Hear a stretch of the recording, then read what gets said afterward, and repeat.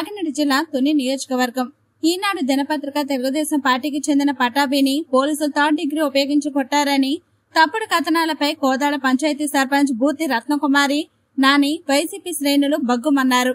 కాకినాడ జిల్లా తొండంకి మండలం కోదాడ పంచాయతీ సర్పంచ్ బూర్తి రత్నకుమారి నాని మాట్లాడుతూ రాష్ట్ర రోడ్లు మరియు భవనాల శాఖ మంత్రి దాడిశెట్టిరాజు ఆదేశాల మేరకు పార్టీ శ్రేణులు ధర్నా నిర్వహించారు.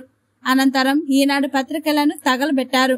గన్నవరం నియోజకవర్గంలో వల్లభనేని వంశీపై పట్టాభి అనుచిత వ్యాఖ్యలు చేసిన తర్వాత కొంత గందరగోళం నెలకొందని ప్రభుత్వమే ఆయన్ను కొట్టించినట్లు తప్పుడు రాతలు రాసి మరుసటి రోజు కండను కూడా వ్రాయడం జరిగిందని ఇకనైనా రామోజీ బుద్ధి తెచ్చుకొని నిజాలు తెలుసుకొని వాస్తవాలు రాయాలని ఇటువంటి గందరగోళం సృష్టించవద్దు అని కోదాడ సర్పంచ్ వర్గీయులు అన్నారు. ఈ కార్యక్రమంలో మడికి అప్పలకొండ బండి అప్పలకొండ పులుగు సింహాచలం బోడపాటి అప్పారావు బద్ద దుర్గాప్రసాద్ మడికి సూరిబాబు రాంబాబు బద్ద దేవకుమార్ శివకోటి అప్పలకొండ వైఎస్ఆర్సీపీ కార్యకర్తలు అభిమానులు అధిక సంఖ్యలో పాల్గొన్నారు. మంత్రివర్యులు రోడ్లు భవనాల శాఖ మంత్రి శ్రీ దార్శెట్ రాజా గారి ఆదేశాల మేరకు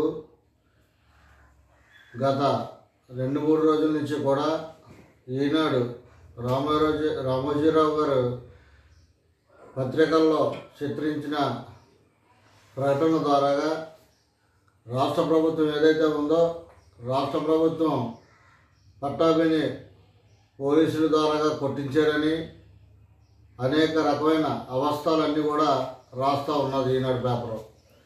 కానీ రాష్ట్ర ప్రభుత్వాన్ని ఎంతైనా సరే కంకణం కట్టుకుని ఏదో రకంగా బ్యాట చేయాలని తగ్గించాలని ప్రజల్లోకి అవస్థవాలన్నీ కూడా తీసుకొస్తూ ఉన్నది. కానీ రాష్ట్రపతి అవార్డు సేవకులు రాసుకుంటే ప్రజలు పూర్తిగా మేము రానున్న టైంలో కూడా ఎక్కడా కూడా ప్రజలు నమ్మే ఉద్దేశంలో లేరు. ప్రజలే దీనికి జవాబుదారిగా మీకు చెప్తారు. ప్రజలు చాలా చిత్తశుద్ధితో గమనిస్తూ ఉన్నారు. ప్రజలు ఏమంత టెంగరోలు ఏం కాదు రాసినంత మాత్రం నేనకి. కాబట్టి ఇలాంటివన్నీ కూడా మానుకుంటే మీకు పద్ధతిగా ప్రజల్లో పరువు ఉంటుంది. లేదంటే మాత్రం రానున్న టైంలో మీ పేపర్లు కానీ మీ నాయకులు కానీ చంద్రబాబు నాయుడు కానీ తెలుగుదేశం పార్టీని పూర్తిగా ଜଙ୍ଗଲ ଡକାତର